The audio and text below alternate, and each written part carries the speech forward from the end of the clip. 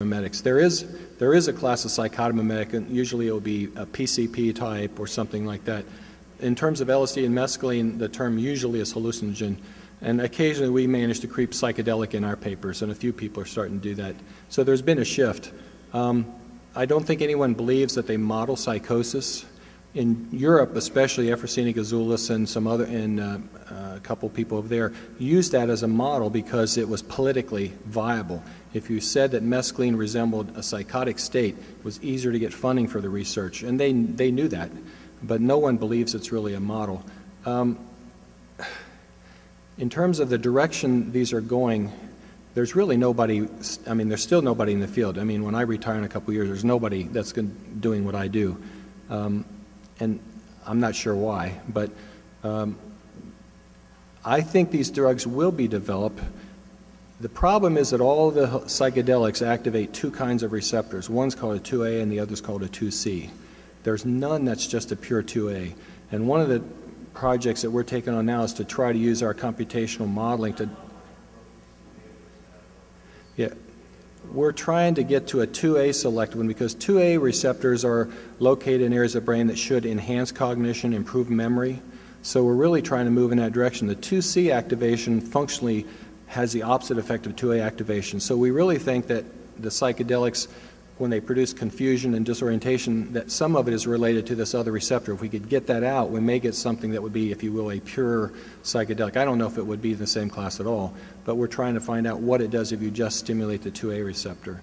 So, but there's nobody really focused on this. No one has been aware of the importance of this, of this, you know, stimulating these. They're um, aware of the importance of blocking these receptors as a treatment for schizophrenia, but not stimulating these receptors. But I don't think psychotomimetic really isn't applied to 2A agonists much anymore. Hallucinogen is sort of the neutral term. Not it's neutral, but yeah.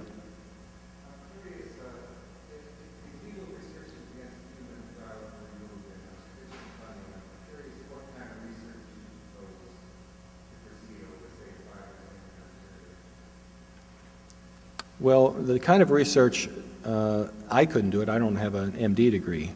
But um, the kind of research that Franz Vollenweider is doing is really sort of state of the art. He's looking at, he has a 64 channel EEG, he's doing PET scans, functional MRI, and he's using an altered states of consciousness scale. He's correlating activation of brain areas with psychological states, which I think is really the cutting edge where you want to be, understanding how brain, I mean, from a reductionist science point of view, understanding how brain changes in chemistry, neurochemistry activation are producing psychological states. Now, the thing he's not studying is the so-called peak experience or transcendent experience. I think that's off. That's a you know that's in another kind of realm of neurochemistry, and nobody can really tell you what's happening there. And that's the most. That's I think the most interesting. What's the neurochemistry of a spiritual experience? When I was a kid, I used to fantasize about writing a book called The Biochemical Basis for Religious Experience. I realize that's not an original idea with me, but it's a very intriguing one. What is it actually when Roland Griffiths gives this to, to these volunteers and they have a mystical experience? What, how, what part of the brain is being activated there? I think that's fundamentally very important, but you're going to tread on a lot of uh, toes of organized religion when you really start defining or trying to say, you know, what's in the brain. You're having your religious experiences related to this transmitter change in this part of the brain. But if you're a reductionist scientist, you have to believe that it is. You may not believe it, but that's what you have to say. Yeah, I think you were next.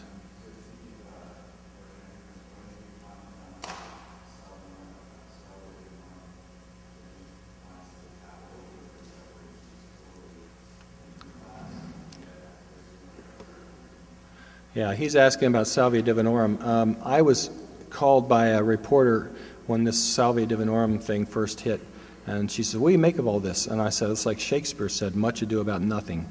Um, now, many of you may be salvia uh, aficionados. Um, I personally don't find it a particularly attractive substance. Um, it does activate kappa receptors. Kappa agonists were, were studied years ago as potential uh, analgesics without addictive potential. And every clinical trial they did, they abandoned because they had psychotomimetic effects. So I think that anything that alters consciousness, somebody will use it.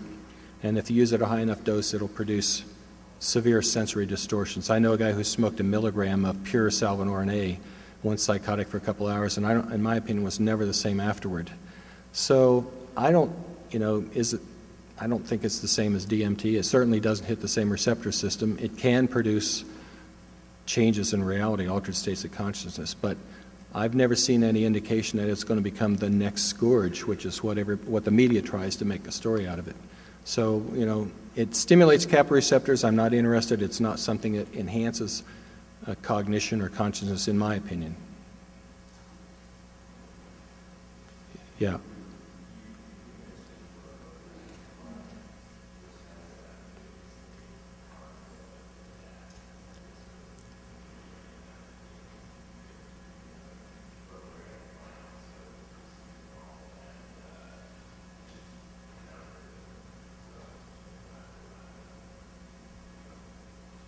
Yeah, he's asking about drugs out of my lab, bromo dragonfly, that, have, that in one instance have killed people.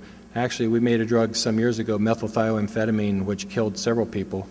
Um, that's very troubling to me. I had discussions with Sasha Shulgin about this. He said, "Look, you publish your science, you, you know, you publish your results. We had used an assay in rats trained to discriminate MDMA.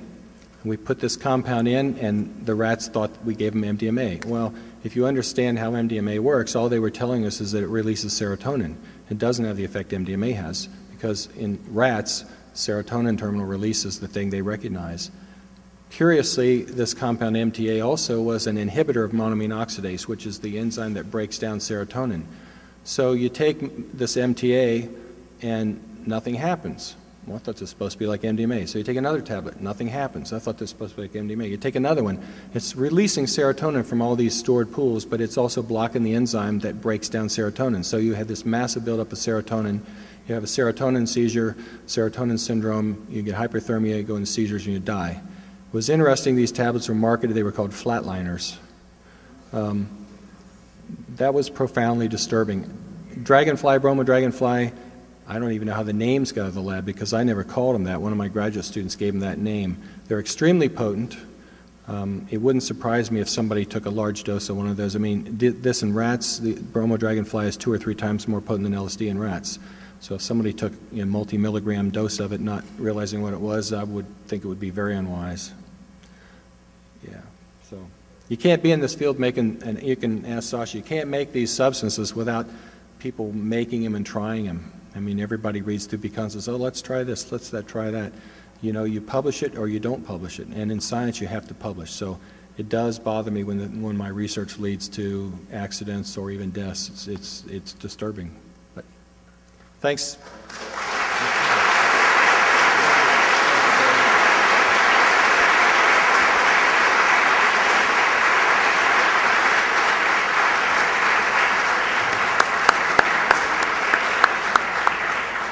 That was just wonderful. And I'd like to just make one small comment that with Dave retiring in a few years, as he says, and nobody, you know, in the ranks, this is a challenge to the graduate students in, in the field, in the audience, to, you know, do something that's really going to be valuable, that's really necessary. Um, so speak to Dave.